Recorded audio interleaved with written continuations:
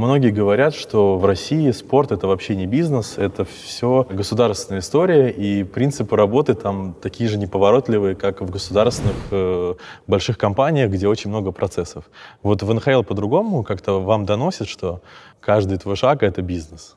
Ну, конечно, они понимают, да, каждое твое высказывание может от, э, так сказать, э, такую не, неприятную какой неприятный осадок оставить на, именно на имени компании. То есть твое любое решение, то есть э, может э, привести к большим потерям клуба, именно как денежных, так и репутационных. И контракты тоже хоккеистов, это же рынок, и он честный. То есть, если ты там забил кучу голов, отдал кучу передач, ты можешь подписать максимальный контракт. Да, в России как бы это пока не бизнес, это тяжело, наверное, назвать бизнесом, потому что все равно очень много государственных денег, и э, они так э, грамотно там и на клуб что-то оставляют, и себе что-то оставляют.